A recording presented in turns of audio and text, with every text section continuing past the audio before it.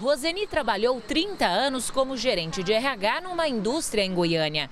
Quando saiu de lá, decidiu montar um supermercado e tem 16 funcionários. A primeira coisa que eu avalio na hora de contratar um novo funcionário é que ele seja uma pessoa focada, que ele seja dinâmico e que ele tenha uma boa comunicação, independente para a área que for. Eu acho que a comunicação é interessante em qualquer setor, em qualquer departamento. A experiência que ela tinha ajudou a escolher o pessoal que trabalha na reposição de produtos, na padaria e nos caixas. Contratar um funcionário para trabalhar numa empresa, seja ela pequena ou grande, requer alguns cuidados. Além de avaliar bem o currículo do candidato, é preciso fazer uma entrevista olho no olho.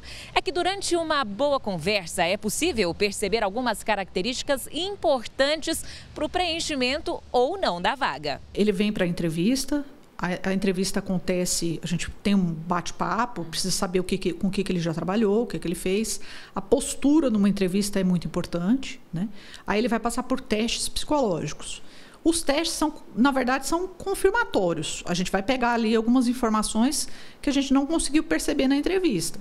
Então, produtividade e algumas características de personalidade mesmo. Roseni prefere contratar por indicação. Por exemplo, um funcionário indica um, um irmão. Aqui nós temos muitas é, pessoas é, da mesma família, né? Tem tem marido, tem, tem essas coisas. A solicitação da certidão de antecedentes criminais não é proibida, mas pode gerar problemas. Se o candidato for reprovado e souber que é por esse motivo, ele pode recorrer.